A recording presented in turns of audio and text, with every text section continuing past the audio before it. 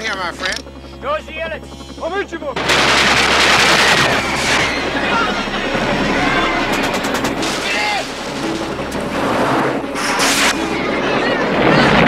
This is the emergency broadcast system. We are under attack by conventional forces of the Russian army. It is believed the lead waves were disguised as commercial charter flights. Communications have broken down with other parts of the country. Large areas of the Midwest may have been overrun.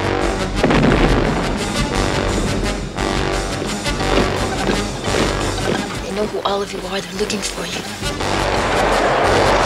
You're 40 miles behind enemy lines. I just want to go home. They took a lot of people away. Where's my dad, Mr. Eckert? Want to love somebody, Andy. I'm gonna die before it happens. They're gonna kill us! All of us! So why should we be different? Because we live here!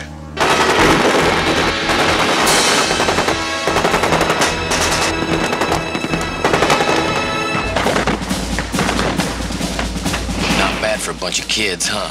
Mama'd be real proud.